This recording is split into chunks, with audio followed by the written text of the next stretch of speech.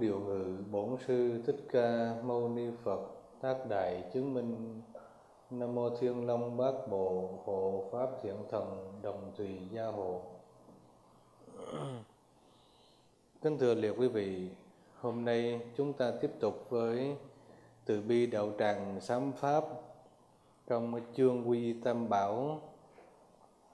Chúng ta học mới có hơn một nửa giờ đây mời quý vị chúng ta tiếp tục đại ý của chương này, đoạn trước chúng ta học là con người chúng ta chớ ý lại mình khỏe mạnh, mình có chút giàu sang, mình có chút điều kiện mà không thấy ra cuộc đời vô thường, tai họa, bất thình đến với chúng ta hồi nào chẳng hay. Và do vậy chúng ta thấy không có gì đáng để nương tựa một cách chắc chắn bằng việc nương tựa về tam bảo. Và chúng ta hiểu hai nghĩa tam bảo, đó là sự lý, hiểu rõ, phân minh điều này. Sự quy y là quy y nương tựa đức phật. Phật mất rồi, chúng ta còn tưởng nhớ tới ngài. Bằng tượng phật, chúng ta nương tựa vào kinh điển được lưu bố để học hỏi để tìm cho mình hiểu biết đúng đắn, đúng với giáo nghĩa giải thoát. Và quy thứ ba là quy tăng, tức là ta nương tựa với những cái tầng lớp xuất gia, những cái vị thầy hiền bạn tốt, sư trưởng để chúng ta có thêm thiện tri thức. Và trong lý quy y, đó là trở về sử dụng cái tính giác của mình để phân biệt những gì đang hiện ra tâm, trong tâm của mình quy pháp, tức là quy y với gì? Với con đường với phương pháp thoát khỏi khổ đau. Trong tâm mình có sẵn và quy y tăng tức là quy y với công đức lành. Công đức lành tức là chính công phu của mình, chính cái việc làm thánh thiện của mình. Chúng ta hãy nương tựa vào việc làm đó, vào công phu đó. Bởi vì biết rằng đó là những điều sẽ giúp cho chúng ta vượt thoát đau khổ, chứng quả niết bàn. Hôm nay đại chúng tự phải cùng nhau khỉnh khái tu hành. Đây là những lời khuyên hết sức là thống thiết. Nha. Khái tu hành. Có ai giúp cho bà cụ một cái ly nước? À, bà cụ à, hay ho nhớ đem theo chai nước. Hôm nay đại chúng tự phải cùng nhau khánh khái tu hành tức là việc tu hành mình không có lờ mờ. Mình khen khái mình tiến tới thể hiện một cái thái độ dũng mãnh. À, tu hành nó như vậy chứ đừng nói tu ở nay tu cũng được không mai tu cũng được. Đang ở pháp hội đạo tràng cháu nó gọi tiếng nó bỏ chạy giờ sợ cháu nó nhớ. Như thế thì đâu phải là là khen khái. Khen khái chúng ta quyết định dứt bỏ việc ở thời gian tới đâu là phải dừng để lo cho mình thêm cái công đức giải thoát mới được. Chiết ý tỏa tình chiết ý là sao? Rồi chiết tức là chiết phục không để cái ý mình nó nhảy rong giống như là ngựa chạy à, chạy cái đồng hoang như khí truyền cây. Không đỡ như như vậy mà chiết tức là chiết phục nó là bắt buộc nó phải theo ý của mình. Nó phải theo cái nguyện tâm của mình. Chứ không để cái ý mình nay nó kiểu này mai nó kiểu kia. Như vậy thì làm sao mà tu được? Người mà cứ đối dời luôn thì làm sao? Cái việc này các vị để ý trong cuộc sống nhiều lắm đó quý vị. Nhiều lắm đó. Ừ, hồi xưa nhớ cỡ các vị nghe có ông thầy ông thờ mà cứ tháng đây thì tới chỗ phòng ông ông thích thờ phật ở trong phòng. Và ông nghĩ rằng là ông ăn với phật ngu với phật. Và lúc nào ông cũng gần phật. Và ông nằm dưới đất phật ngồi trên bàn. Và ông thờ rất là rất là, là cung kính trầm hương toàn là những cái thứ quý không à? Mà nhìn cái bàn thờ của ông mình học tăng mà nhìn bàn thờ của ông thầy nghĩ bao nhiêu đó là thầy đi học mấy năm trời chưa hết tiền. À, nhưng mà khi ờ, ông ờ, ít bữa lên thăm lại thì ông đổi hướng khác ít bữa cái ông đổi hướng khác. Cái phòng đó mà ông đổi luôn thôi. À, rồi thầy mới nói thầy nói tôi nói thiệt cái thầy đức phật nào mà thầy thờ đức phật đã khổ lắm. Ừ cái là không có sao khổ. Tại mà nói phật ngồi không yên. Phật ngồi không yên thân, cái ông chớ trớ kêu này, ông xây kêu kia. Phật ngồi không yên, thì làm sao mà không khổ được? Rõ ràng như vậy đó. Cho nên cái ý của mình á, ngay cả thờ phật mà nó cũng lung lay đó. Kiếu này là đẹp kiếu kia là không đẹp. Rồi đừng nói chi là trong cuộc sống cứ cái một cái vấn đề xảy ra mà chúng ta ở trong tâm đủ thứ loại ý hết và thậm chí vui là chúng ta nghĩ khác, buồn chúng ta nghĩ khác. Cho nên phải chiết nó lại, phải chiết phục nó lại, cho nó đi theo một cái nguyện tỏa tình, tỏa tức là phong tỏa, không để cho cái tình thức nó vận khởi. Tình thức nó sinh ra thường là từ mắt tiếp xúc với màu sắc, tai nghe âm thanh, mũi, ngửi mùi hương, hay gọi là xấu căn tiếp xúc với xấu trần. Ngay chỗ đó phát sinh tác dụng. Tác dụng đó nó sinh ra tình thức mà tình thức này là loại sai lầm. Cho nên ngày xưa Đức Phật Di Lặc với Đức Phật Thích Ca Mâu Ni hai vị đồng phát tâm cùng một lúc nhưng một vị thì tu hành cầu danh đó là Phật Di Lặc. À, tu làm sao cho được người ta khen? Rồi tu làm sao? Người ta đi kinh hành này mình đi ngay ngắn lắm mà không có người ta thì mình giải đãi. À, rồi mình làm ra vé mình gặp người mua Phật làm ra vé tu hành lắm nhưng mà về nhà là mình chửi với tơ bờ tức là là mình làm sao mình tu cho người ta khen. Ha, mình ăn mặc cũng cho người ta khen. Nói chung mọi thứ là mình tu cứu đó tụng kinh cứu kia làm mọi thứ cho người ta khen. Tức là tu hành mà cầu danh. Còn Đức Thích Ca Mâu Ni thì tu trong nội tâm cho nên ngài chứng quả. Và khi ngài chứng quả Đức Di Lặc chưa có chứng được cái gì hết. Và Đức Phật phải dạy cho Di Lặc Bồ Tát cái pháp duy thức quán. Duy thức quán và nhờ cái pháp duy thức quán này mới quán chiếu thấy rằng khi căn mà tiếp xúc với trần, nó nó sinh ra cái dụng khởi chỗ đó chỉ là cái giá, không phải là cái thật. Không phải là cái chân lý, cho nên đừng có xây dựng nó nữa. Và thế là Di Lặc Bồ Tát giác ngộ, và từ đó về sau, ngài tới bây giờ vẫn còn là một vị Bồ Tát, trong khi Đức Thích Ca Mâu Ni đã chứng quả thành Phật trước ngài từ chín kiếp. Đó. chúng ta thấy không? Thành hai người đồng phát tâm một lượt nhưng mà sự dụng tâm khác nhau thì nó khác nhau. Cho nên chúng ta để ý, việc tu là chiết ý tỏa tình. Câu này như là một công án tu hành đó. Dẫn cái ý mình theo cái gì? Theo cái nguyện, theo nguyện của mình. Hồi xưa thầy cũng như các vị thôi, hồi nhỏ mình cầu bồ tát quan âm gia hộ cho mình đừng có khổ. Chứ mà cầu hoài thấy quan âm không có gia hộ. Trong đầu thì cứ nghĩ, bồ tát quan âm ngàn tay ngàn mắt mình thì chắc người đau khổ ngàn lấy một cho nên ngài không có cứu được. Nghĩ như thế thôi. Và sau này cứ cầu hoài mà không được. Thôi không cầu nữa. Không cầu, đôi khi không cầu nó lại được. Rồi có khi lại lại không cầu gì hết, mà cũng chán cầu và không cầu luôn. Rồi, ở trong ở trong tâm lại phát một cái nguyện chịu đựng. Tôi nguyện thọ thọ chịu vô lượng khổ đau của chúng sanh trong pháp giới. Thì ai cho mình đau khổ tức là mình nguyện chấp nhận rồi.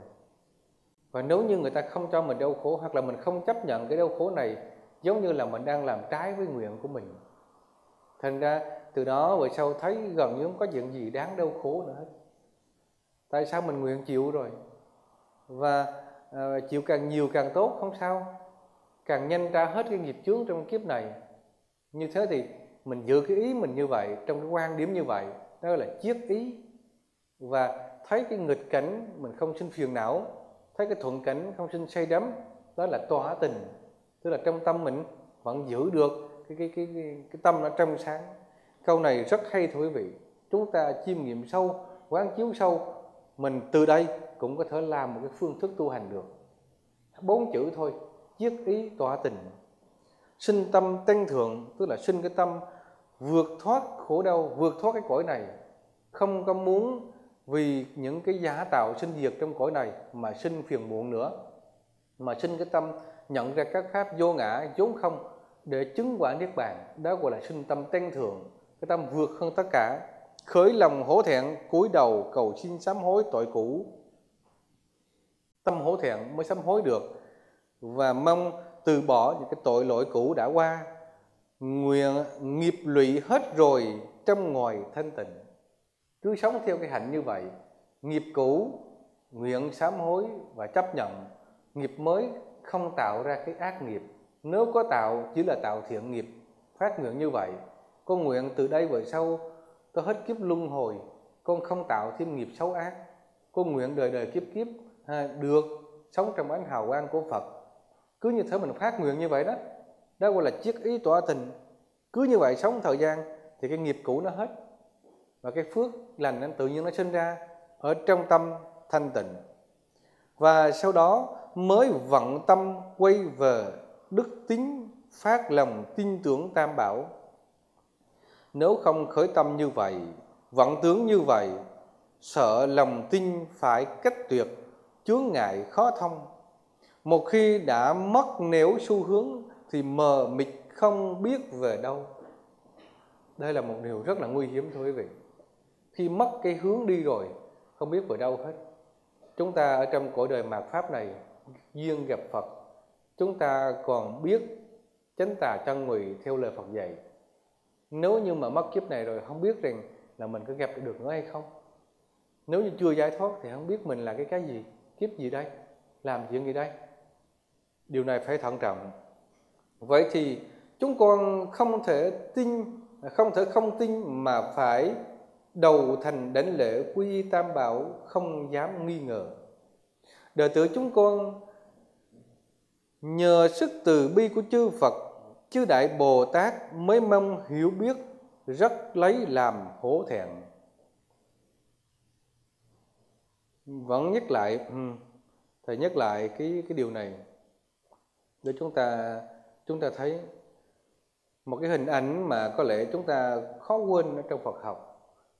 Đó là có một lần có một vị tỳ kheo bị cái bệnh có lẽ là cái bệnh uh, chưa phải là phong cùi nhưng mà ở trên thân cứ nó nứt ra và nước nó chảy ra cái nước tanh hôi.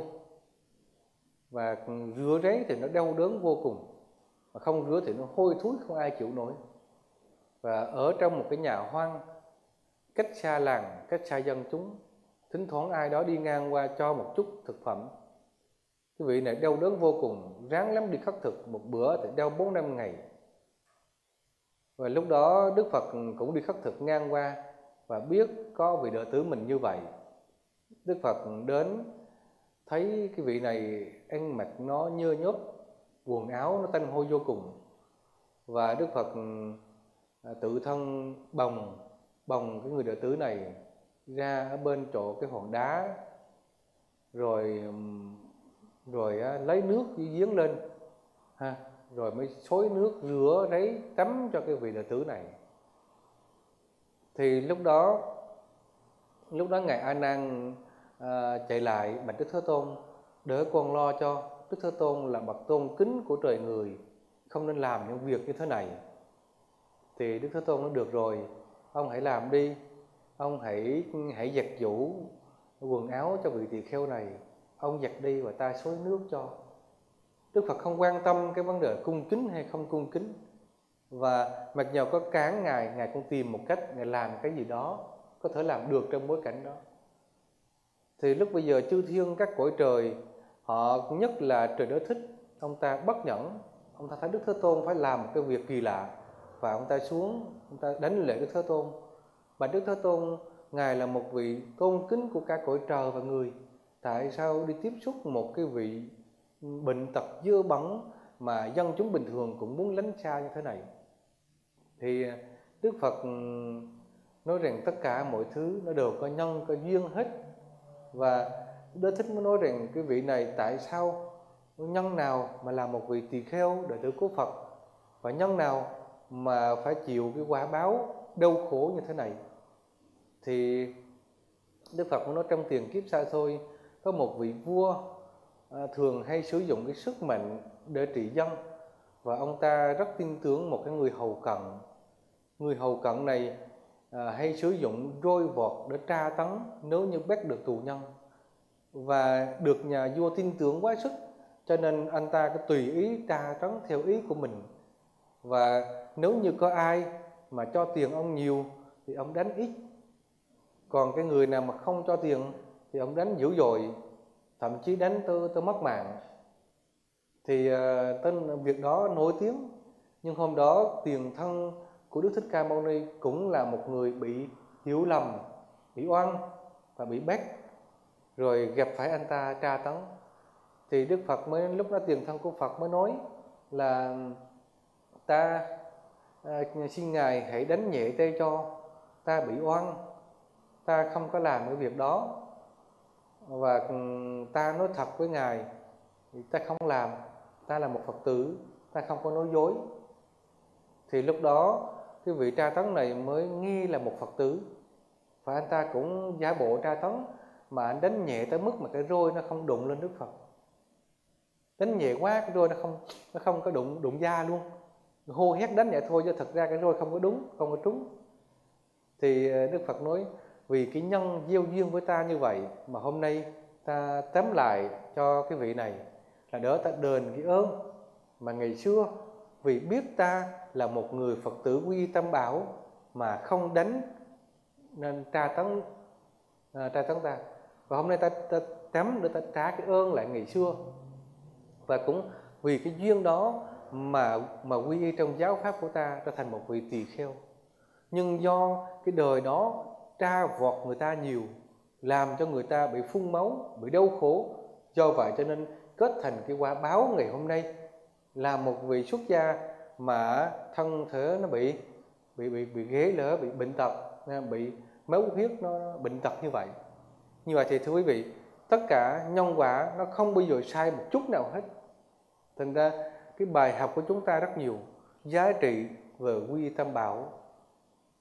Chỉ có một cái niệm quy y thôi mà người ta tra tấn cũng phải chừa cho một cửa. Rồi thứ hai là cũng nhờ cái tâm hướng về về giác ngộ mà được gặp Phật, kết duyên với Phật. Và ngay cả Đức Phật, nhớ lại tiền kiếp xa xôi kia, người đó đã không đánh mình đâu, mà phải đi tắm rửa, mặc dù ở đời này họ là một đệ tử cho nên những cái hạnh này, những cái việc làm này đáng để chúng ta cung kính. Và Đức Phật nói rằng này, các tỳ kheo, chúng đệ tử phải biết thương yêu nhau. Đệ tử của ta không biết thương nhau thì ai thương chúng ta? Những câu nói của Đức Phật rất là nhẹ nhàng, nhưng mà chúng ta không có làm theo. Chúng ta không sống với những gì Đức Phật dạy. Mặc dù cùng là đệ tử của Phật, nhưng gây gỗ, giận hờn, thù địch, đó là những điều đang làm ngược lại với lời của Phật. Và chúng ta làm như thế thì làm sao mà Phật pháp hưng thịnh trường tồn? Làm như thế thì sao chúng ta có được cái nhân thanh tịnh giải thoát được? Cho nên ở đây hôm nay chúng ta nghe những cái giáo pháp này thầy rất là mong mỏi tất cả chúng ta nên tính ngộ tinh giác ở trong từng suy nghĩ và việc làm của mình. Và chúng ta phải trân trọng cái, cái công đức của y của chính mình. Nó rất là có giá trị đó thưa quý vị. Chư Phật chúng ta nghe câu chuyện vừa qua, đủ cảm nhận lòng đại từ bi của chư Phật và Bồ Tát. À. và chúng ta xét của bản thân mình, thấy rất là hổ thẹn khi mình chẳng làm được cái việc nào, một nghiên cứu nào đẹp như vậy hết. Những tội đã làm, mình nguyện từ đây về sau xin trừ diệt. Những tội chưa làm, nguyện không dám làm nữa. Phát nguyện như vậy mới là người tu còn sáng trưa chiều tối, đám cửa gõ mỏ hết gõ mỏ rồi đứng lên chửi bới tao bờ thì cái lúc mình gõ mỏ đó mình cũng đang tu một chút. Nhưng mà hết gõ mỏ rồi không tu nữa. Cái tâm mình đã trở lại nguyên si. Cho nên à, cái công đức định lực khi mà mình đang gõ mỏ tụng kinh, nó cũng có cái phước báo của nó. Nhưng mà chắc hẳn rằng người đó còn lâu lắm mới giải thoát. Cho nên giải thoát phải dùng trí tuệ để đoạn trừ nghiệp chướng của mình và thay đổi cái hành động. Hành động của mình nó hiện ra từ lời nói, suy nghĩ và việc làm. Phải thấy điều đó mới là người tu ha.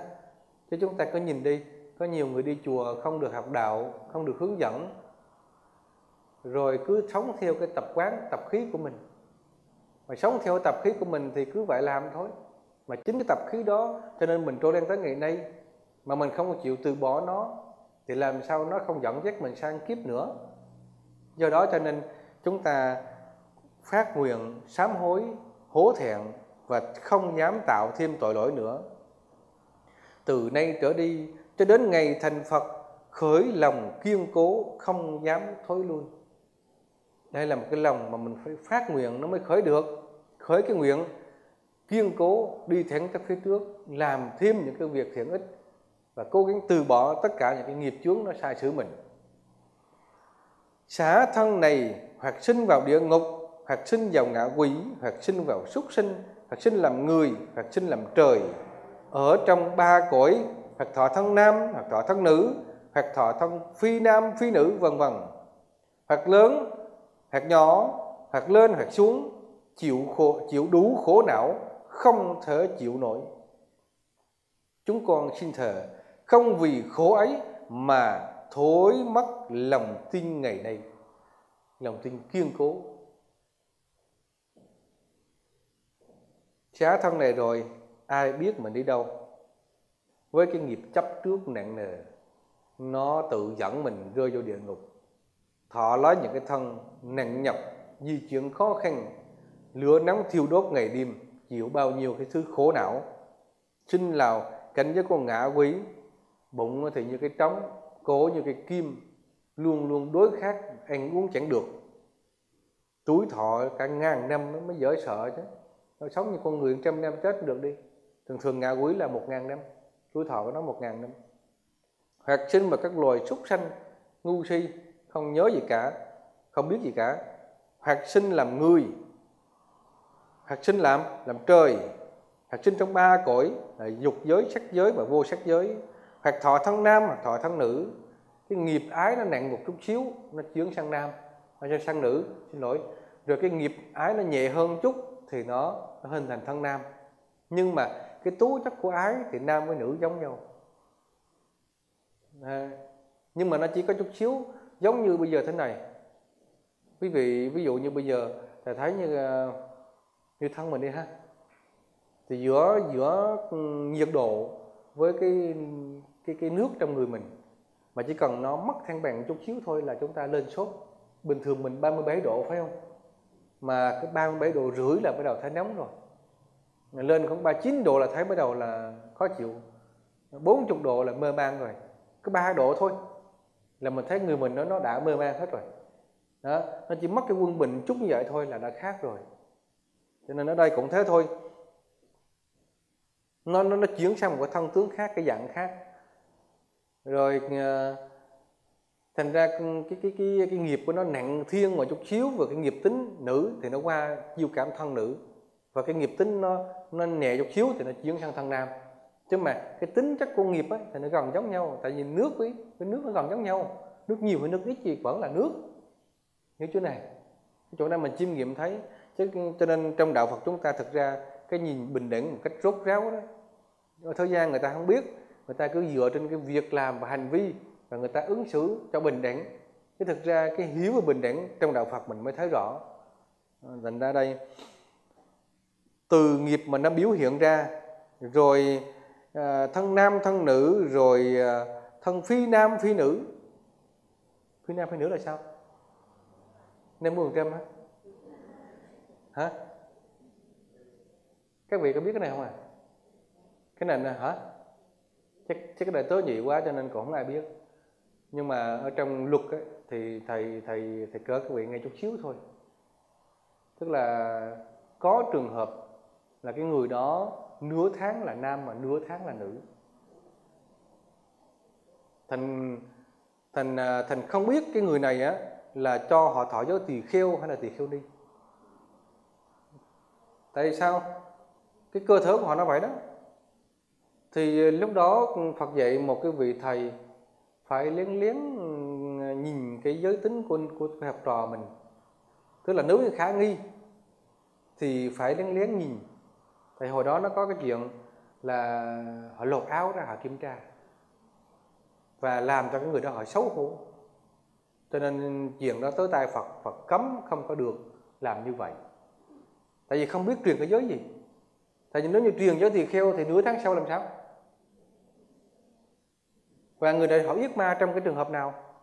Cái nghiệp lạ kỳ chúng ta nhìn thấy cái con ờ, con con con gì? Con nhím á. Con nhím lông xù á. Con nhím đó nó bán nam bán nữ đó. Nó tự nó nó nó nó nó nó, nó thỏa mãn cái sinh lý nó tự nó nó sinh con cái đâu có nó đâu có con nam con nữ gì đâu. Con nhím đó. Cái nghiệp nó làm sao mà nó như vậy chứ? Chứ đâu phải là tự nhiên nó có phải không? Chúng ta học trong lý nhân quả chúng ta nhìn thấy sáng như ban ngày. Tất cả do có nhân trong đấy thành mình cũng cẩn thận chứ lúc mà trượng phu cũng lúc nữ tính cô chừng. À, coi chừng đó. Lúc thì trượng phu ngon lành lắm. Rộng rãi quạt mang còn còn lúc thì nó nhỏ mọn ích kỷ. Đó. Lúc đó là cô chừng nó nửa nam nửa nữ. Ừ. hoặc là phi nam phi nữ cái chỗ là ừ, phi nhân nó khác nha phi nhân tức là cái loài, thường thường cái loài này nó nó chấp ở trong cái cái chết và nó sống thời gian lâu lắm, cho nên nó nó tu và nó có thể hiện ra hình người. Nhưng mà thực ra nó không phải người. Nó là, thấy nó là người, nhưng mà bản thân nó không phải. Nó hiện ra cái hình vậy thôi. Thì chúng ta gọi đó là phi nhân còn còn cái loài mà mà phi nam phi nữ ấy, thì những cái loài đó nó khác. Hoặc lớn hoặc nhỏ hoặc lên hoặc xuống tức là cái cái cái nghiệp thăng trầm chịu đủ khổ não không thể chịu nổi. Ở đây nói rằng giá dầu cái nghiệp quá khứ của con có đưa đẩy cuộc đời con trôi vào đâu. Có khi sinh các cõi trời thậm chí rơi địa ngục ngạ quỷ súc sanh hoặc là đi vào những cảnh giới Ờ, khổ đau như là mang thân nam thân nữ hoặc là người lớn người bé hoặc là đi lên đi xuống. Cho dọc bất cứ hang cùng ngõ hiểm hoàn cảnh nào con thờ một lòng rằng là không vì cái khổ ấy mà con mất cái lòng tin vào tam bảo ngày hôm nay. Cái đó là cái câu ý chính của nói à, chứ còn cái trước mình không phải nắm cái đạo lý làm gì. Chứ nói rằng là cái cái niềm tin chắc chắn ở trong lòng của mình. Chứ không có vì một cái chút đi chùa gặp nghịch duyên rồi chúng ta chán nản, bất mãn. Thì cái niềm tin mình nó khác. Hoặc là ờ, mình có bất mãn chùa này cũng được, nhưng xin thưa là đừng đừng bỏ đừng bỏ tam bảo. Ha tại vì cái đó là con người nhiều khi là nó là thế sự. Thì có khi mình thích hợp hay không thích hợp, nhưng mà đối với tam bảo mình không có thối thất niềm tin. Thà chịu bao nhiêu khổ lụy trong muôn ngàn ức kiếp, chúng con xin thề không vì khổ mà thối mất lòng tin hôm nay. Nguyện xin chư Phật chư Đại Bồ Tát đồng gia tâm cứu hộ đồng gia tâm nhiếp thọ. Cái điều này quan trọng lắm thưa quý vị. Đừng có coi thường sự gia hộ của Phật Bồ Tát ha. Chúng ta khởi tâm thì nó mới mới, mới tiếp nhận được sự gia hộ của Phật Bồ Tát. Chúng ta thật cỡ các vị nghe câu chuyện Đức Một Kiền Liên đi không biết đường về đó. Thằng lực như ngày Một Kiền Liên mà đi không biết đường về mà giá như có biết nữa, vợ cũng không nói nữa, hết sức rồi. Thần lực như vậy đó. Nhưng mà Đức Phật chỉ cần hướng tâm lên Đức Thích Ca Mâu Ni và ngài gia hộ, tiếp nhận sự gia hộ của ngài, thì trong một thời gian tích tắc, một kiền liên đã trở về núi lương thứ rồi. Cho nên chúng ta thấy cái thần lực chiêu cáo nhưng mà không khởi tâm thì Phật cũng không thể nào tiếp nhận được. Thành ra chúng ta khởi tâm cầu sự gia tâm cứu hộ đồng gia tâm nhiếp thọ của chư Phật, chư Đại Bồ Tát, khiến cho chúng con tín tâm được kiên cố như tâm của chư Phật, đồng như nguyện của chư Phật. Tín tâm của con nó kiên cố như là tâm chư Phật và đồng như là cái nguyện của chư Phật. Tà ma ngoại đạo không thể phá hoại tín tâm của chúng con. Cái đây là nguyện vậy khó lắm, không biết. Đơn giản quý vị. Chúng ta gặp tà ma ngoại đạo nó thuyết phục ví dụ như mình bệnh, có nhiều người phật tử hôm trước có cô nhật hoa hỏi về cái chuyện năng lượng đó. Đi học phật mà không có có đạt tình, đạt lý trong đạo phật. Cho nên hiếu một cách mơ hồ, có một chút bệnh tật, sợ hãi, khổ đau. Và đem cái năng lượng nó truyền vô, thế là thấy khỏe mạnh lên chút. Mới đầu tin tưởng vào đó, thực tập theo đó, đem hết tâm sức vào đầu tư đó. Đầu tư đó chi? Để giữ gìn cái thân này cho nó khỏe nhưng mà cuối cùng cái thân này nó cũng phải chết, bởi vì có ai sống hoài đâu.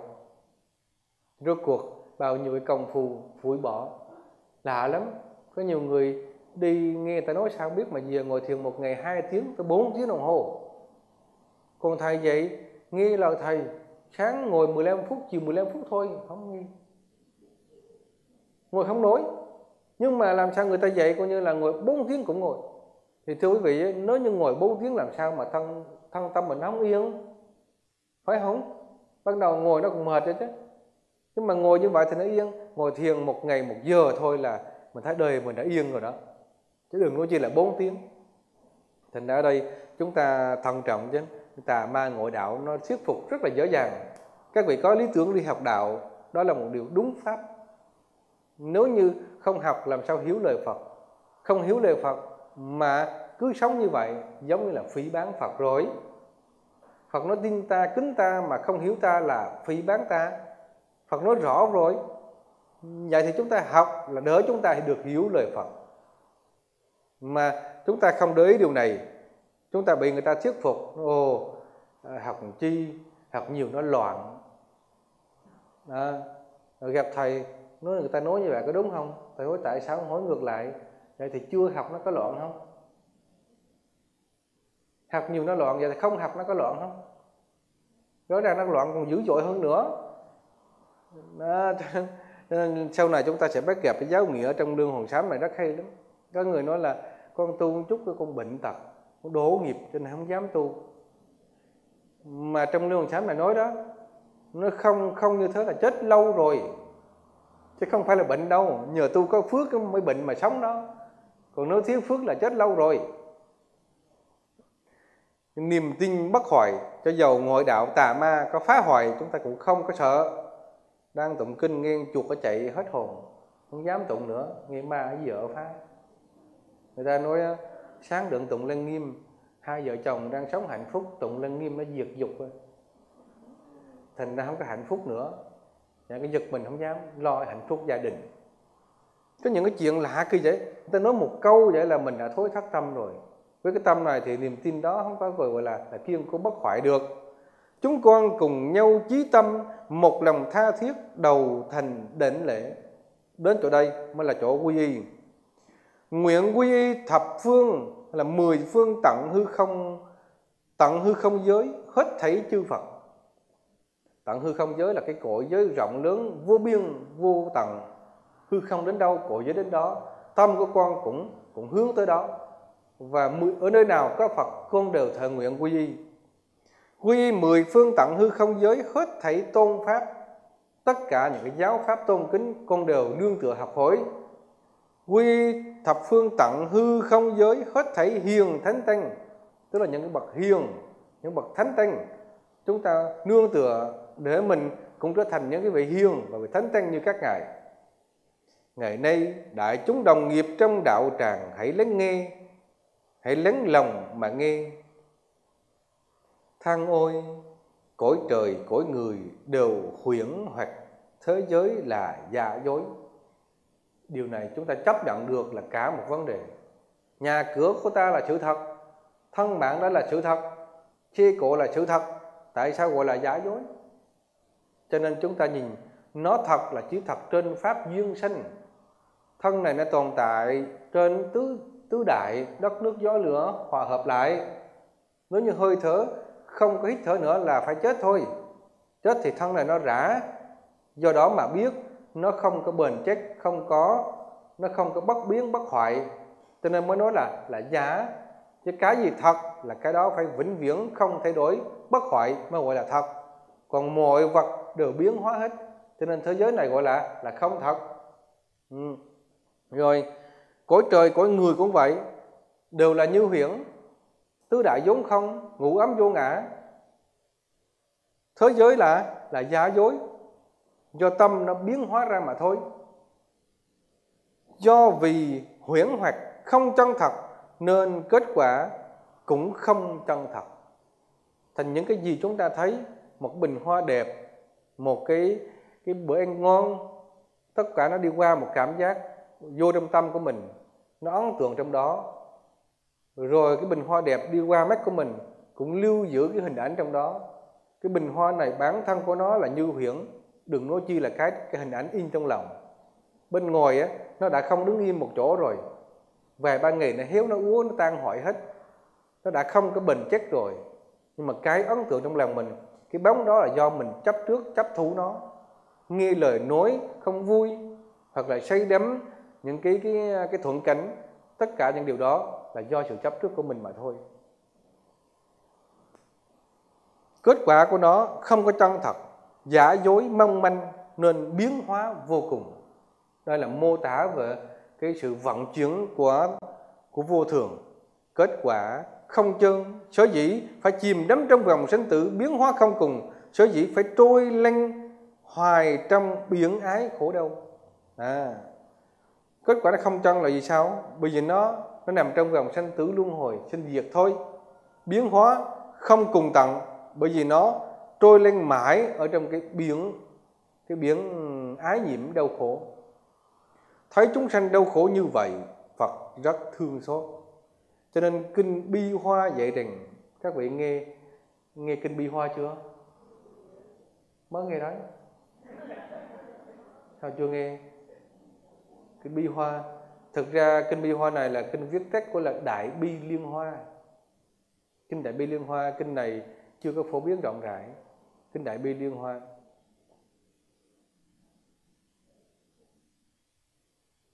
Cái đại bi liên hoa này nó cũng trong tư cùng tư tướng của kinh pháp hoa. Cái lòng đại bi nó bất nhiễm như là hoa sen. Cho nên mô tả giáo pháp của phật và sự giác ngộ trong cái đại bi như là hoa sen vậy đó các vị bồ tát thành phật đều có bốn nguyện. Câu này rất là hay. Các vị bồ tát muốn thành phật đều phải có bốn nguyện. Chúng sanh độ tận phương chứng bồ đề. Bốn nguyện của địa tạng bồ tát 12 đại nguyện của bồ tát quán thơm. À, chúng ta cũng phát đại nguyện. Các vị phát đại nguyện. Chẳng hạn như bây giờ mình phát là suốt đời mình không chửi lộn. Chẳng hạn vậy? Đại nguyện của mình như vậy. Nhưng mà cẩn thận, khi mà phát rồi em bắt đầu là nó sẽ có chuyện nha chưa phát thì nó không sao. Nhưng mà khi phát thì nó sẽ có chuyện liền. Tại sao hả? Hả? Không phải đâu. Đó là cái biểu hiện của nghiệp chứ không có gì hết á. Thầy nói giống như con bò nghé vậy đó. Con bò nó nó cứ ăn cỏ bình thường, nó không có gì là nặng nhọc khi mang cái ếch trên vai của nó nhưng mà một khi trồng cái ếch vô là bắt đầu nó nhảy. Lạ kỳ vậy đó. Ngày nào mà các vị ăn chay lên, ngày nào các vị thèm thịt có đúng không? Bây giờ các vị ăn, nó quen đó. Chứ có nhiều người là họ ăn chay là họ thèm dữ lắm. Nhưng mà không bao giờ nói ăn chay. Mặc dù họ đang ăn chay, không nói chuyện ăn chay, họ không thèm. Giống như là họ ăn rau bình thường vậy thôi thậm chí họ uống nước họ cho cũng được họ không cần. Nhưng mà họ sẽ không thèm thịt nhưng mà khi ngày đó họ nghĩ là ngày ăn chay là bắt đầu họ thèm. Có nhiều người cái nghiệp giới sợ lắm. Hồi xưa đây có một cô phật tử uh, thọ bắt quan trai. Mà trước khi thọ bắt quan trai á cái ngày trước đấy là cô ăn đủ thứ sơn hào hải vị. Ăn uh, uống yến đủ thứ hết. Nó là chuẩn bị một ngày. Đỡ hôm sau á là bác con trai bác trai ăn ngày trưa thôi. Vậy mà chuẩn bị hết rồi đó ờ, còn đạo tràng chúng ta đây cũng có. Cũng có người hình như là ngày bác con trai đầu tiên hình như là là có làm con tôm luộc đỡ sẵn này chờ 8 giờ rưỡi là giới nó vừa xả là mình sơi con tôm liền. Đó cho nên nó rõ ràng là đã tính toán đã, đã, đã, đã chuẩn bị hết đó chứ đây thêm con tôm ở rồi đi qua lại rồi đang chờ gió xả không mà biết cái tao. Phải không? Đó đó là là cái tâm chúng ta nó dễ sợ lắm chứ không đơn giản đâu. Khi mà chưa cấm nó thì không sao. Chứ mà hệ cấm á, là bắt đầu nó phản ứng. Cho nên nó chưa tu thì nó cứ cái lơ phơ phơ vậy đó. Chứ mà nó tu là nó khác. Ngồi cho ngồi tăng dốc nó suốt ngày không sao. Chứ mà ngồi im ru hít thở chút là nó ngủ nó tại sao nó nó mệt quá? Nó viện lý do là nó mệt quá. Nó đi làm cả ngày rồi bây giờ phải ngồi thiền nữa. Nó nó viện vậy đó. Nhưng mà có ai đang ngồi suốt ngày thậm chí tán gẫu cả đêm không sao hết đó. hoặc là ngồi nói nói nói chuyện gẫu nói cả giờ đồng hồ. Thấy thời gian của mới đây mất giờ đồng hồ rồi. Nhưng mà ngồi thiền chập năm phút lật lật đồng hồ coi thứ được nhiêu rồi. Sao lâu quá chờ thầy cũng chưa gọi bon à, hí hí mấy coi thử tình hình sao? Có 15 20 phút thôi à. mà cứ hí hí nhìn hoài thôi. Rõ ràng là khi tu nó sẽ như vậy. Còn không tu là ngồi nói chuyện gậu không sao hết. Cho nên rõ ràng cái tâm chúng ta nó dở sợ lắm, chứ đừng có phải phát cái nguyện và lúc bây giờ mới mới nhiếp phục được nó. Là mình ôm cái nguyện đó mình làm. Thường mới phát nguyện, nó sẽ có chướng ngại. Chướng ngại đó là do sự phản ứng của tâm thôi. Nhưng mà cái tâm được huấn luyện giống như là cái thanh gươm được mài dũa nếu như thanh gươm không mài dũa nó rí xét chẳng làm được cái gì. Thành ra cái tâm mình cũng vậy, phát nguyện, thọ trì, huấn luyện nó, trau dồi nó, cũng giống như là mình mình mình mình mài dũa một thanh gươm béo vậy đó, thì nó mới có khả năng chặt đứt những cái sợi dây trói buộc của phiền não. Rồi có nhiều người à, không biết làm sao. Thầy biết nó có hay không mà cứ nói với thầy là ma nó xa lớp chi. Có không này? Các vị tin không? Ờ, ở đây không có, nhưng mà Việt Nam có. Ma xa lớp chi.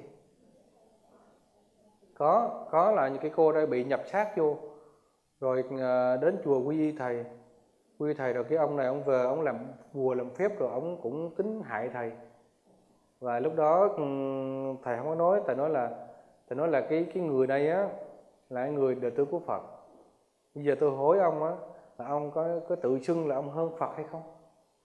Không dám. Không dám hơn Phật. Tuyệt vời. Canh giới của ma quân á mà nói tới Phật nó cũng không dám nó nói nó hơn Phật. Cái danh hiệu của Phật dễ sợ không? Và thầy nói như vậy cái cô này cô không có thích theo ông. Cô thích theo Phật là cô, cô chọn đường một cách không ngoan. Chứ tại sao là ông bắt buộc được?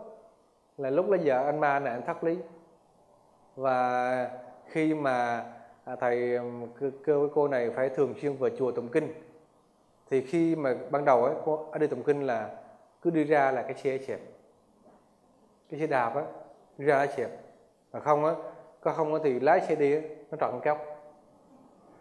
Trọt cốc xe sau nó rớt cái sơn xuống luôn rồi từ nhà đi chút xíu, có hồi con giận quá con đi về nhưng hôm sau tôi nói không có thể là mình dắt xe đi không được.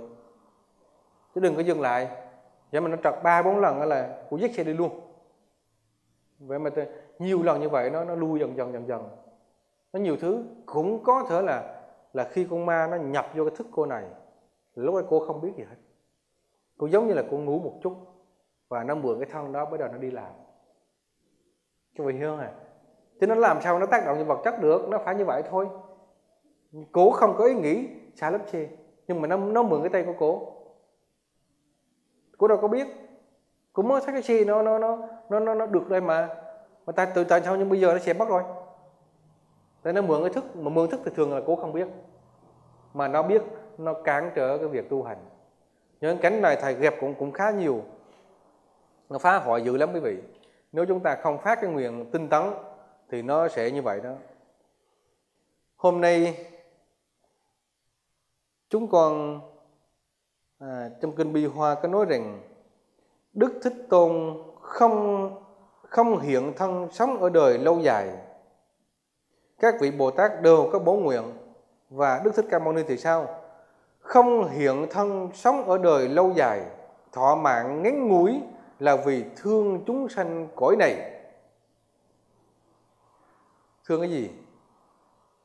Sống yếu uống trong nháy mắt rồi chết. Đối với cái bậc thánh họ thấy con người mình nháy mắt chết. Nhưng mà trong cái nháy mắt đó, mình cũng có đủ thứ hỉ nộ ái ô ví dụ như giờ một ngày một đêm cõi trời đau lợi thôi, cõi chúng ta 100 năm. Phải không à? Đó. mà cái cái cái chết cũng nhanh lắm. Hmm. thầy thì thầy thấy cái đây khá nhiều, thầy thầy đi chôn năm chết nhiều á. Cho nên thầy thấy lạ lắm trước đây có anh chàng đi trước chùa, vỗ ngực xưng tên, vỗ cái đùng vô ngực vậy, đi sải sải trời nén chang chang mà ở trần vỗ cái đùng vô vậy đi. Trên đời này không ngán thằng nào. Về nhà chết mất. Như nhà ngủ chút xíu sao chết mất, ở nhà chạy qua nữa tôi, thưa thầy ơi, cha con chết rồi, giờ thầy cúng giùm.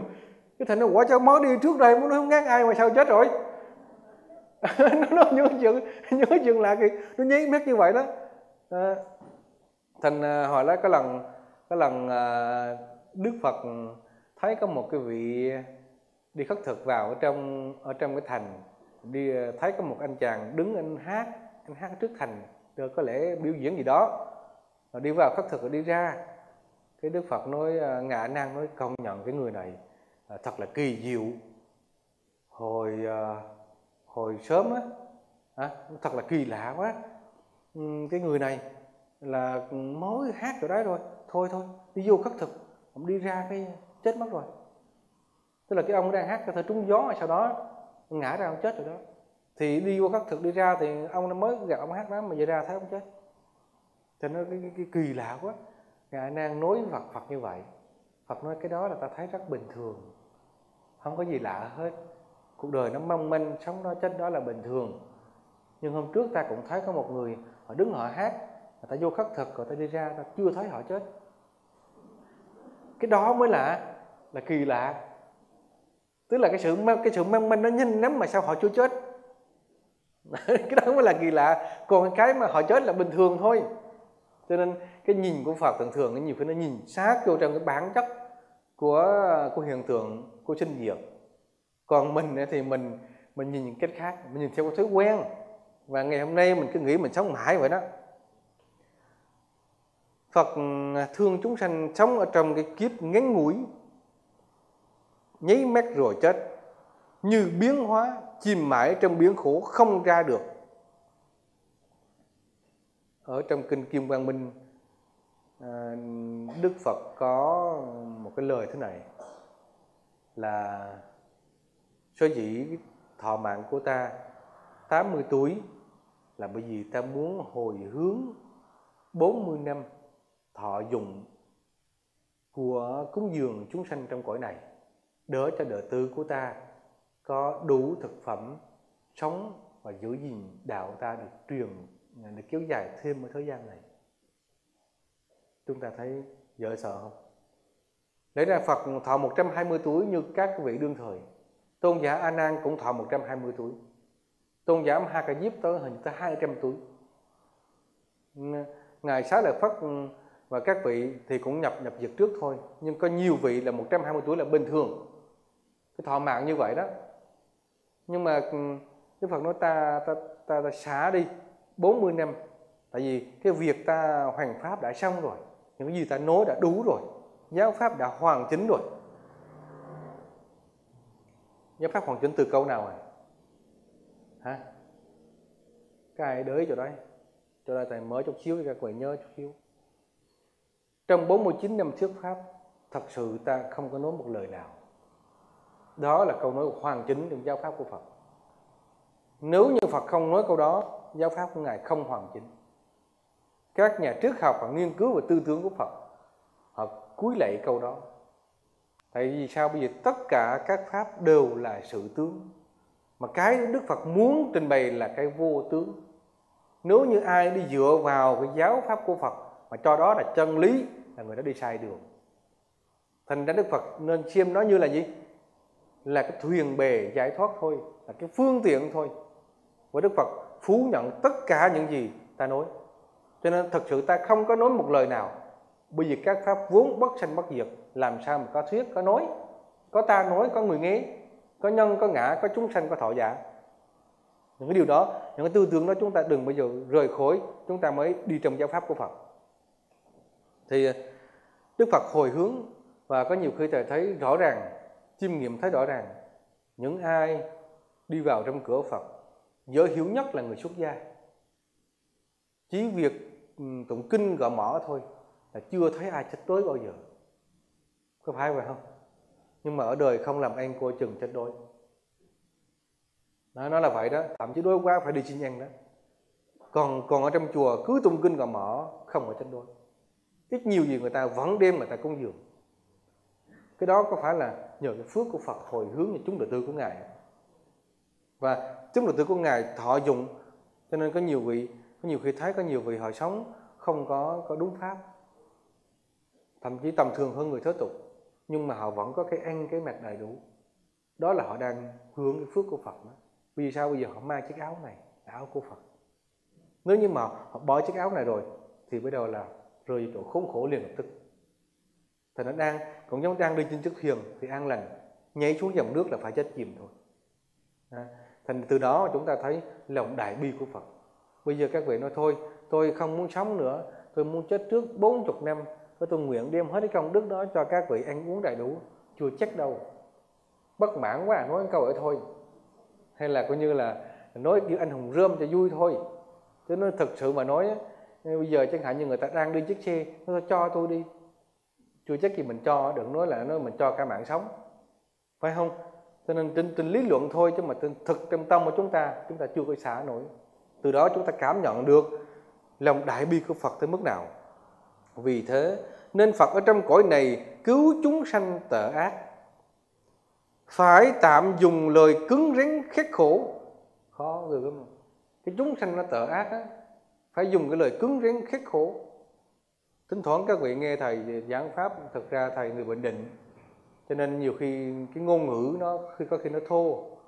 Nhưng mà ở trong cái ngôn ngữ của người bình định thấy vậy chứ mà nó nó thô nhưng nó có đầy đủ cái tình cảm ở trong đó. Mà họ thấy bình thường thôi.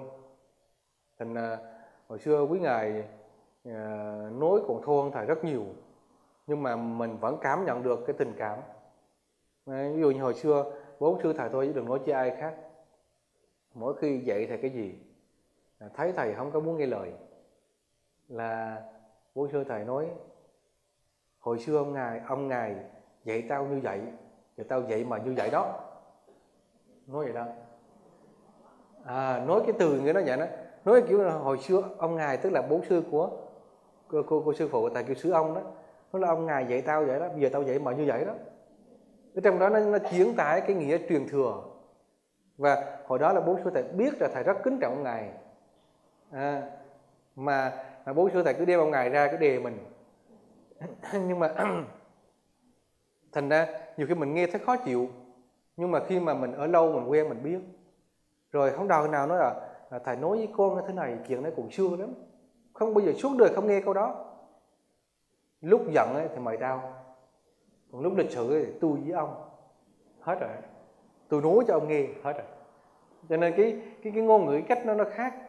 Hay nó khác nhưng mà nhưng mà có những điều là lạ là khi thầy xin cái gì cho cái đó.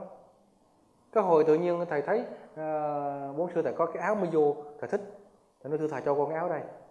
Cái ông cưới áo đưa liền ông nói xuống giặt đây rồi mà sự thường thực như vậy đó. Cho nên có những cái mà mình thấy có những người lịch sự làm không được. Nhưng mà cái hiện nó nó tự tâm, nó hiện ra một cách thoải mái như vậy. Mình ở đây thưa cái Đức Phật cũng dạy ngày xưa Đức Phật đừng nghĩ rằng là ngài không nói cái lời cứng rắn. Trường hợp như là đời bà Đạt Đa, mà đứng trước hội chúng, mà nói, Đức Thế Tôn đã già rồi, thôi Đức Thế Tôn nghỉ ngơi đi. Giáo đoàn đỡ cho con lãnh đạo cho. Đức Phật nói là từ thiên ma ngội đạo cho đến đế thích, không ai đủ sức lãnh đạo giáo đoàn của Như Lai. Không ai đủ sức nhiếp hóa chúng đệ tử của Như Lai. Xá lợi Phất một kiền liên là nhân vị đại trí và thần thông đệ nhất, cũng không đủ sức nhiếp phục chúng đệ tử của Như Lai. Hôm nay ngươi ăn đờm giải hay ăn cái gì mà ngươi mở miệng ra nói như vậy? Dễ sợ không? Đó là những cái câu nói rất cứng rắn trong kinh ghi lại nguyên nguyên như vậy. Thầy nói lặp lại đúng như từng lời trong kinh ấy.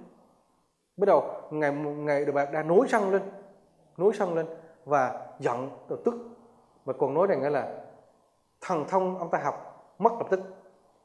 Và còn một chút cái sức khỏe thì lúc bây giờ lúc bây giờ ông còn nói Đức Phật á, đứng trước mặt Xá Lợi Phất một cường liên tầng bốc hai vị đó và coi thường ông cho nên ông thấy sỉ nhục. Thành ra là cái tự ái nó nâng lên nữa. Bao nhiêu cái thứ thần thông của ông tàn biến hết. Là chúng ta thấy dễ sợ. Nhưng Đức Phật vẫn nói những cái câu như vậy. À, rồi có hồi ngày một kiền liên cứ ngồi ngồi thiền à, chỉ có thần thông mới mắt ra cái thấy. Mới mắt ra cái thấy. À, thấy những cái chuyện vớ vẩn. Tự nhiên không muốn ngồi thiền. Ủa, thấy có cái ao a nậu đạt hay quá mà chúng sanh ở đây chưa có ai lên được. Thành ra là ông lên ông ngồi thiền nó mát mẻ. Và khi ông ngồi đến đến, đến núi Tiết Sơn đó rồi ông ngồi mát mẻ ông xuống mà ở dưới đó cát toàn là vàng thôi. Rồi hôm đó ông cũng nhận một cái ông đệ tử Sa Di mất có 8 tuổi mà cái chú Sa Di này đó là cũng chứng được ngũ thông. Thành ra là thầy trò dụng thần thông lên đó ngồi thiền. Rồi ông chú này ông thấy vàng nhiều quá ông lấy cái bao đựng bao.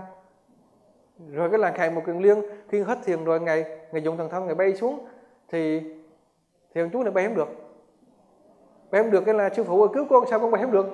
Nghe một cái liên nói ngươi bỏ cái bao vàng ra xuống sẽ bay được. Thì bỏ xuống là y nhiên tự nhiên bay được. Cái nghiệp của chúng sanh là nó không hướng được cái phước đó. Cho nên mặc dù cái cái vàng kia cũng không hiện ra được. Những cái thần lực như vậy đó. Và cái hồi ngài nói tôi thấy uh, cái cái hồi sen trên ao a nậu đạt ấy, nó to lắm người ta có thể ngồi vô đó được các vị nói, ông một kiện liên, ông ý ông đời tư lớn của phật, ông ăn nói giọng ngữ. Cái hoa sen gì mà người ta ngồi được trong đó. Cứ trên đời nào có ai có không? Các vị thì khi họ bàn tán với nhau. Rồi cái ngày một kiện liên, ông ông lên trên đó, ông mới vác cái hoa sen đó về. Ông đỡ ở sau ở sau cái phòng. Và ông nói, trên ao a đạo đạt có cái hoa sen mà người ta có thể ngồi trong đó được. Thì đại chúng họ cũng không tin. Ông ra ở sau phòng, ông vác con xe, ông đỡ ra. Ông nói, đây này, tôi đem về này, bằng chứng cái này. Thì họ nói, ngài là thần thông quán đại, ngài ra sao ngài biến hóa, khó khăn gì đâu. Cho nên rốt cuộc là họ không tin luôn. Và ờ, và ngài, đức phật nói, một kiền liên ông im đi. Tự nhiên ông cứ ông nói, chỗ này chỗ kia làm chi? Có khi phật vừa trách ngài một kiền lương như vậy đó. À, và đức phật mới nói chuyện đó là có đúng như vậy. Trên ao a đậu đạt có cái hoa sen người ta có thể ngồi thiền trong đó được. Chúng đệ tử họ tin một cách thanh tịnh. Nhưng ngày một kiền liên mặc dù chứng a la hán nhưng nói ra họ vẫn còn ganh tị. Chúng ta thấy dở sợ không? Cho nên cái sức cái thần lực của Phật nói đến một câu người ta tin và thấu hiểu. Còn người khác nói là nó phản ứng thành ra cái nghiệp của chúng ta nặng nhọc, chúng ta nói cái lời hay lẽ phải người ta không nghe.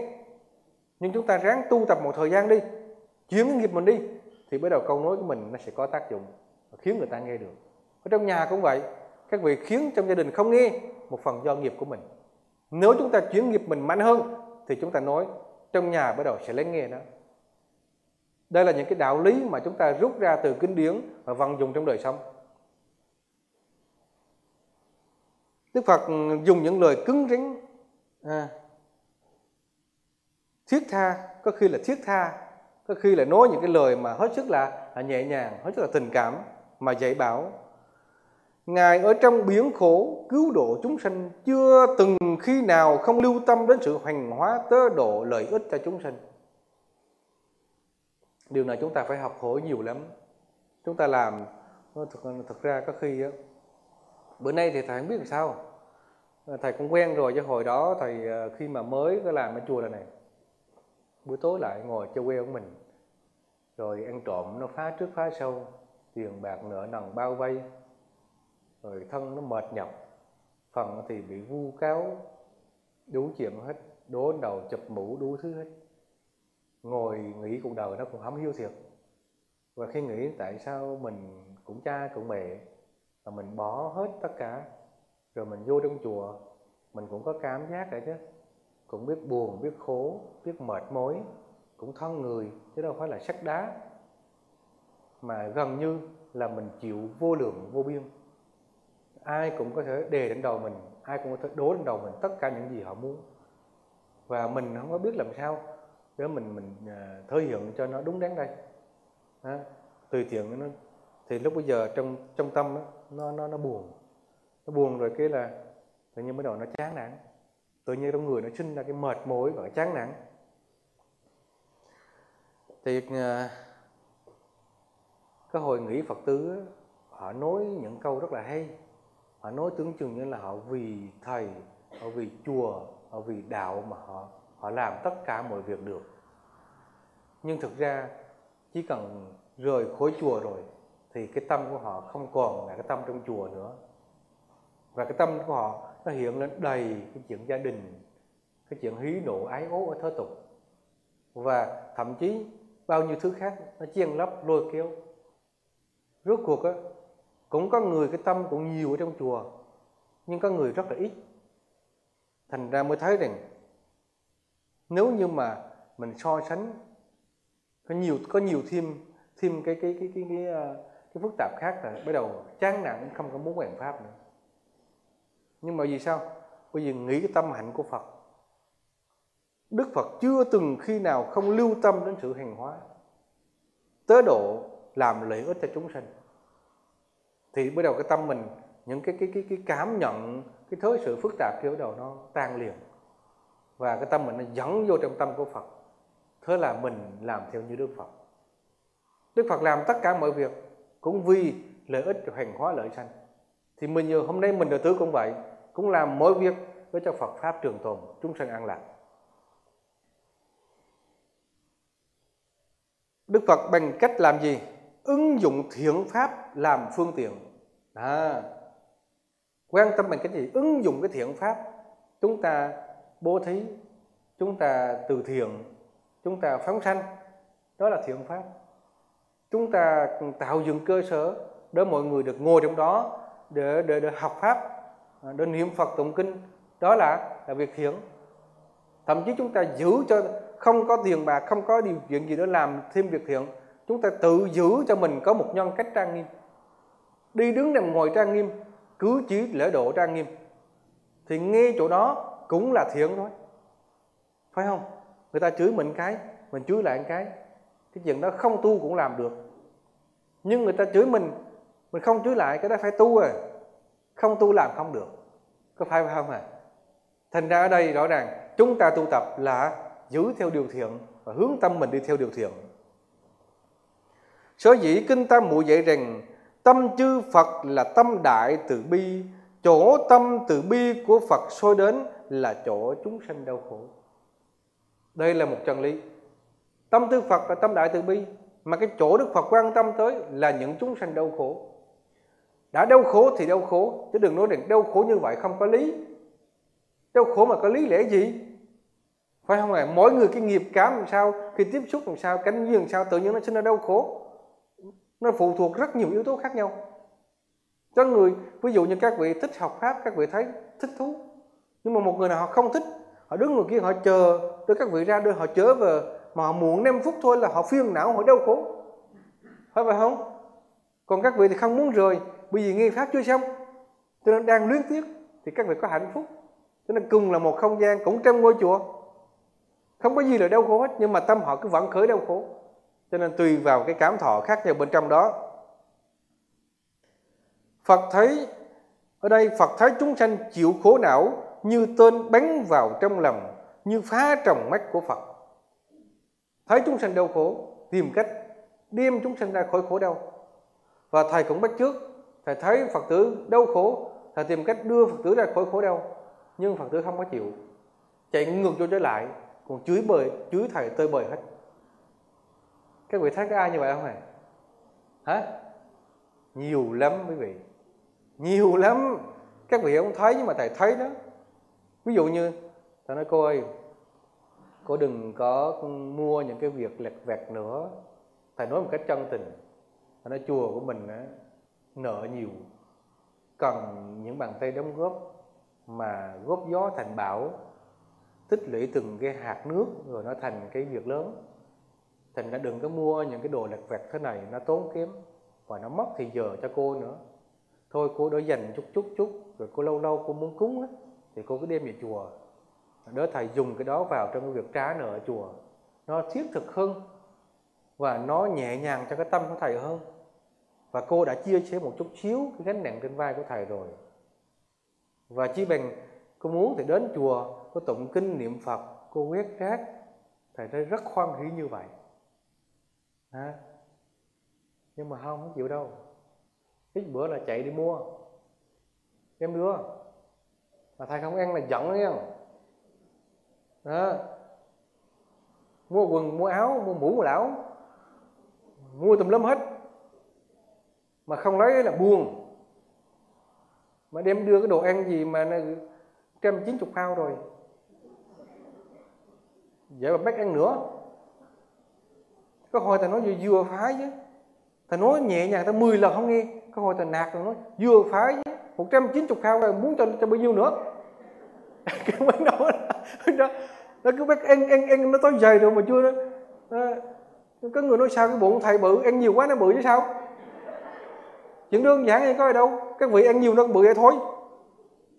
Mà không ăn là giận. Cúng nó mà thầy không ăn là giận đó nha. Đó cho nên khổ lắm. Làm thầy không dở đâu quý vị. Mà tại vì thầy muốn cho chùa nó vui. Có nhiều món thầy không thích ăn, không thích mặc, nhưng mà thầy vẫn dùng. Tại vì muốn cho mọi người vui thầy nghĩ rằng vui nó sinh ra phước. Như vậy có phải không? Tự chuốc cái khổ đau cho mình phải không? Tự chuốc cái phiền não cho mình phải không? Và thầy muốn thầy muốn đem ra khỏi cái phiền não đó mà không. Đi vô trở lại rồi quay lại chuối y chang vậy chứ phải không ạ à? các vị nhìn thấy mới thấy. Cho nên ở đây hướng dẫn cho phật tương vậy. Thầy chỉ mong các vị giác ngộ chân lý. Và các vị càng giữ cái sức mạnh bình an của nội tâm trong lòng các vị càng mạnh, càng cao mà mạnh là cao khi nào? Khi gặp cái nghịch cảnh mà mình không có khổ đau như trước đây đã từng gặp. Thì đó là các vị đã biết cái sức mình đang đang mạnh lên đó, đó cái đó là bằng công phu tu tập nó mới có được. Và các vị đã có được điều đó các vị chỗ nào cũng có hạnh phúc. Lúc nào cũng thấy an vui. Và cái mục đích đó là mục đích mà thầy muốn. Chỉ có nhiêu đó thôi à. Cuộc đời nói tại sao phải đau khổ như vậy? Cho nên làm bao nhiêu việc cũng chỉ tập trung vào bao nhiêu đó bắt trước Phật, thấy sao? Tại nên bắt đầu thầy, cô ơi, cô đừng làm như thế nữa nha cô. Điều đó không tốt. Bắt đầu về nhà suy nghĩ. Ngồi thiền đàng hoàng suy nghĩ tại sao thầy không biết mình làm chuyện đấy? Chắc cái con mẹ cái đang mét. Bắt đầu bắt đầu không? Bắt đầu bắt đầu á. Nghĩa là thầy cũng ép mình quá. Bà kia bà làm đủ thứ chuyện sai hết mà thầy không nói tiếng nào. Ha còn mình ấy, coi như mất cái trục rịch cái là thầy không? Nói liền. Đó thấy không? Cái đủ chuyện xảy ra hết. Cho nên sau này thầy khôn rồi. Từ từ nó khôn dần dần ra các vị dạy thầy nhiều lắm. Thầy nói thật sự hồi xưa thầy tới đây người thầy rất bèn phán. Phật tử lớn tuổi thầy ai thầm kính thương như là như là người mẹ người chị như là người như là người trong gia đình. Thầy kính trọng bèn bèn phán hết cho đó thầy ai nói gì thầy cũng trân trọng hết cái lời nói nhưng mà thời gian thầy thấy bắt đầu nó khác. Là do các vị dạy thầy đó dạy dạy ra thầy chứ thầy đâu có như vậy. Có phải vậy không? Sau này thầy khôn rồi bằng cách nào? Thầy ngu gì nói nữa. Phải không? Thân lừa ưa nặng, muốn khổ thì cứ khổ. Tự nhiên dạy mình, dạy thầy thành người. Không thiếu đi cái từ bi. Nó mệt mỏi quá. Thầy nói một đàn hiểu một néo rồi diễn sang một néo nữa rồi người đi nói sang người khác nữa thôi chết thầy. Như vậy thì làm sao mà dám dạy nữa? Những đức phật á, đại từ bi của phật. Phật thương chúng sanh giống như là thấy chúng sanh chịu cái khổ giống như là cái tên bén vô mắt của ngài. Ha. Cho nên ngài thương lắm ngài đau xót lắm. Cho nên phật muốn diệt khổ ngay cho chúng sanh được an vui. Hồi xưa đến đây cũng vậy trong tâm cũng phát khởi những cái điều này mà muốn muốn dạy nhanh những cái bộ kinh, muốn nhồi nhét vô trong tâm, trong đầu các vị những cái bộ kinh, đỡ cho bao nhiêu cái cái gọi là giang hồ kinh văn, tức là cái kinh tàu lao á, kinh giang hồ đó cái kinh cô hồn đó, nó nó tan hết đi, mà nó hiện lên kinh phật, kinh kinh pháp, chứ không phải là kinh giang hồ. Đó cho nên cái cái cái muốn dạy nhiều lắm nhiều lắm. Rồi dồn dập, nói nhiều quá cũng sinh phiền não. Sao không thầy? Nói nhiều quá, cứ gặp, nói luôn nói luôn phiền não quá. Mà mình biết mình biết nếu như không có nhồi nhét vô như vậy, thì trong tâm đó không có có chiếm hóa được. Rồi nghĩ cho làm sao à thôi bây giờ mở cái việc Phật học. Chỉ có việc Phật học mới ra, nhiều thầy dạy cho mình dạy, chập nữa là mình đứt bóng luôn. Cái là phải mời mời nhiều thầy vô nó nhiều không người ta dạy cho không học mà không cảm ơn mà ngồi đó khen nó chấm điểm thầy. Thầy đó ông nói câu đây hay ha, ha. còn ông kia ông nói câu dớ ghét. Thầy nói dạy. Đó thôi rồi. Đó là đi làm thầy ông thầy với thầy gì nữa? Đi học gì nữa phải không? Sự thực là vậy đó. Ông nói 10 câu hay mà nói lỡ lời có một câu thôi là mới đầu, mới đầu là mình phiền não câu đó. Cho nên khổ lắm nhưng mà bảo lên trên đây đứng nói một câu thôi là lên là đứng rồi. Đây gọi là bình tĩnh mà rung. Cứ vậy nó nói không ra luôn. Vậy mà xuống ở dưới là bắt đầu là phát ngôn lung tung hết. Thành khổ, mình không tự tự đưa mình vào hoàn cảnh để mình thấy được. Lại nữa, trí tuệ của Phật là trí tuệ bình đẳng, nên Phật hóa độ chúng sanh cũng bình đẳng nhiều Đức Thích Tôn ai cũng xưng Ngài là đấng bình đẳng. Trí tuệ bình đẳng, cho nên ai học cái gì, Ngài đều dạy một cách bình đẳng. Không dạy người nào nhiều hơn hay là người kia ít hơn. Ngài giống mảnh chịu khổ độ thoát chúng sanh, cho nên biết ân, cho nên biết ân đức bổn sư rất nặng. Đói bụng quá rồi ha rồi có lẽ chúng ta nghĩ ở đây. Học cũng hết chỗ này nữa, thám thiệt thầy ráng thầy muốn dạy cho xong mà đi nối cái nó mất hết những cái giáo nghĩa bên trong đó. Hay là chúng ta ráng chút xíu được không? Ráng chút xíu nữa, còn tờ đó thôi.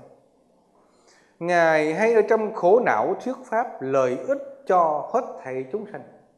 Ở trong khổ não mà thuyết pháp, đây là một điều rất khó chứ không đơn giản quý vị. Chúng ta thấy đức phật đi chân không từ chỗ này qua chỗ kia, bất luận thậm chí nghe chúng đệ tử cãi cọ nhau ở trong cái trận gì, à, gì đó. Quên rồi. À, ngài thân hành đi bộ 3 tháng đến đó hòa giải. Hòa giải không được. Phật lên trên núi để an cư một mình sống với con voi và con khí bao nhiêu thứ đó nhé. Đức Phật ừ, quý vị thấy như bình thường người ta đeo bao tứ là vì sao? À, thứ nhất là lo thứ hai nữa là ăn uống bất thường phải không? Những cái thức ăn bất thường. Đó, mà Đức Phật nhiều phen để bị đeo bao tứ đấy chừng đã có thành ra phải sai ngã năng đi xin sửa đó. Cái chịu những cơn đau như vậy tại là cái thân vật chất này tất nhiên nó phải chịu những cái đau ốm thôi. Nhưng mà cái tâm của ngài là quan trọng. À, chứ đừng nghe nói đức phật không có đau. Không đau là cái tâm phật không đau. Nhưng mà cái thân này nó, nó khi nó, nó nó trở ngại là nó phải phải chịu thôi. Già nó phải chịu đau như chúng ta thôi. Đem đến lợi ích cho hết thể chúng sanh. Ngày nay chúng sanh không được giải thoát là vì trước kia không được nghe âm thanh vi diệu của phật thuyết pháp. Vừa sau không thấy phật niết bàn, không sinh ra trong thời phật, cũng không thấy đức phật niết bàn. Chúng sanh vì nghiệp chướng ngăn chi nên xa cách lòng thương của phật. Biết đâu ngày đó mình làm con mũi hay dây di hay phá cái giáo đoàn của phật, chứ không có chịu tu hành chúng ta cũng thể làm nhiều kiếp con này con kia. Bây giờ chúng con hãy cùng nhau sinh tâm thương tiếc. Vì thương tiếc nên thiện tâm nồng hậu. Cái này hay lắm. Ừ. hai vợ chồng à, cãi nhau. Nếu như không cãi thì ăn cơm không ngon miệng. Nhưng mà chỉ cần trước khi đi xa vài ngày là bắt đầu nhớ. Làm như tốt lắm vậy đó. Lo lắng này kia đôi thứ cho nên vì sao vì sao có cái biểu hiện đó? Là vì cái tâm luyến tiếc. Cái tâm tiếc đó bắt đầu nó sinh ra sự nồng hậu. Cái biến hóa tâm mình rất là là nhiều ghép cạnh khác nhau. Ở trong đau khổ, chúng con nhớ ơn chư Phật, kêu cầu thảm thiết áo đạo khắp lấp chí thành đảnh lễ. Những câu kinh này, những câu sáng văn này để nâng cho chúng ta một cái cảm xúc là chí thành, chí thiết. Tưởng nhớ ơn của Phật năm vóc sát đất nguyện vì quốc vương quốc quyến và quyến thuộc của quốc vương. Đó là cái yếu tố của tàu này. Phải không? Tại vì sám trong lương sám mà. Trong vua mà ai cũng gì quốc vương thôi. Phải nói nịnh câu chứ. Cho nên những yếu tố này chúng ta thấy nó, nó là sám ven không phải là kinh. Rồi vì cái gì? Vì thổ địa nhân dân phụ mẫu sư trưởng à, tín thí đàn việc thiện ác tri thức chư thiên chư thiên thông minh chánh trực thiên thiên địa hư không, hộ thớ tứ thiên vương, chú thiện phạt ác, thú hộ trì chú, ngũ phương long vương, long thần bát bộ, cùng khắp hết thể chúng sanh vô cùng vô tận trong mười phương. Cái này câu này quá dài, liệt kê ra quá dài. Chứ mà cái dài dòng này hình như chúng sanh nó nó thích vậy đó. Chúng ta thấy trong cái các khóa lễ mà giới thiệu mà số không ông cái ông nó phiền thấy vậy không à? Hoặc là mình quên cảm ơn ông là buồn cái này rõ ràng là cho nên nói cảm ơn cái ông này, không cảm ơn ông kia là bắt đầu thấy phiền não. Cho nên cái đây là mệt lắm, thành ra nhiều khi thấy các vị mc trong các cái cuộc lễ là xin lỗi lia lịa, nó có điều gì sai sót là xin bỏ qua. Nói tới nói luôn, mà nói tới mức mình cảm thấy những người đến tham dự đây, cái lòng nó nhỏ nhỏ nhen quá. Chỉ có một sự giới thiệu thôi, không có là phiền não. Cái đây này khổ lắm. Các vị đừng cười thầy mà khen cái người này không khen người kia là các vị cũng phiền não rồi đó. Mình làm cũng khổ sao thầy không khen? Đó là nhiều đó chúng ta thấy không? Thế nên cái tâm mình bỏ bớt đi, cái tâm mình nó sẽ an lành hơn. Ở trong đó mà con quy y mười phương tận hư không pháp giới hết thể chư Phật. Quy y mười phương tận hư không hết thể pháp giới tôn pháp. Quy y mười phương tận hư không hết thể pháp giới hiền thánh tinh. Đoạn ở dưới đây chỉ là cái đoạn tán thán thôi. Chư Phật Đại Thánh Tôn thấu rõ hết thảy pháp đạo sư của trời người cho nên nguyện quy y. Tán thán công hạnh của Phật.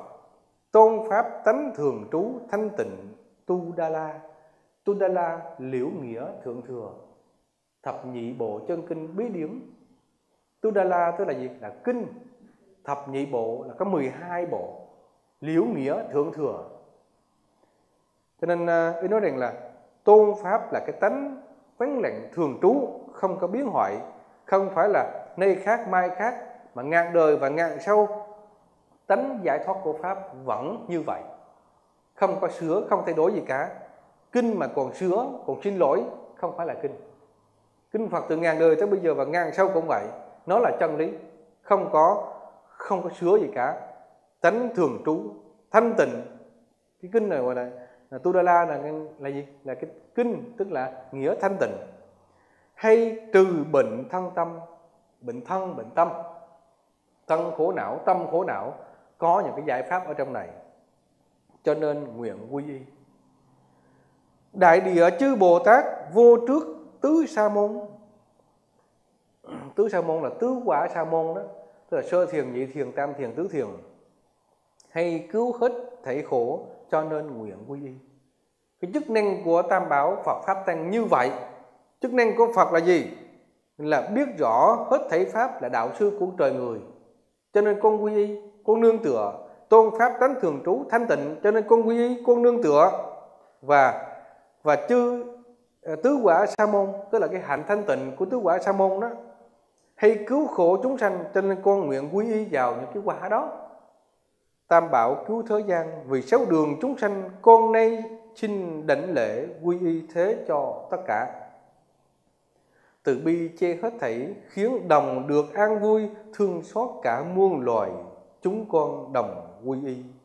Nguyện xin hết thảy mười phương tam bảo đem từ bi lực, bổn thể nguyện lực, bất tư nghị lực, vô lượng tự tại lực, độ thoát chúng sanh, phù hộ cho chúng sanh lực, an ủi chúng sanh lực đem những năng lực ấy khiến cho chúng sanh đều giác ngộ. Chúng con ngày nay vì các chúng sanh ấy mà quy y tam bảo. Chúng con xin nhờ công đức này có năng lực khiến các chúng sanh ấy đều được mãn nguyện. Đây là cái năng lực hồi hướng vì tha nhân.